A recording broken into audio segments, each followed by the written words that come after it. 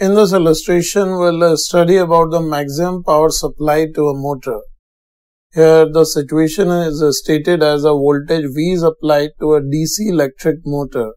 The motor coil resistance is equal to R and uh, it is asking at what value of current flowing in the motor coil the mechanical power produced by motor will be highest. Here in the solution, if we draw the circuit, we are given that there is a motor in which there is a coil, the armature coil through which uh, a wheel is connected or a shaft is connected which rotates when current is passed through the motor. And here uh, through the motor in the circuit it is connected across a battery of voltage V through which say a current I flows and the resistance of this coil of motor is R. So in this situation we can write if uh, motor draws a current I, we can write the power supplied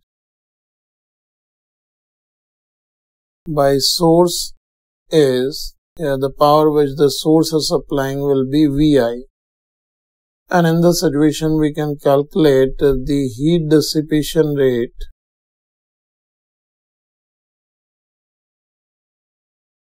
in coil of motor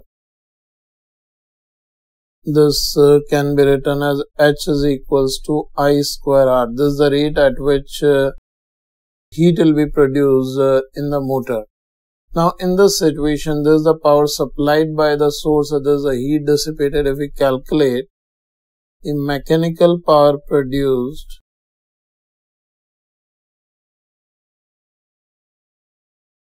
by motor and this mechanical power can be written as Vi minus I square R. So here we can see this PM will be highest 1 dpm over di is equals to 0. Here we are using maximum minima to maximize this power. We differentiated this will give us V minus 2 IR is equals to 0 which gives us the value of current at which the mechanical power produces highest this V by 2R.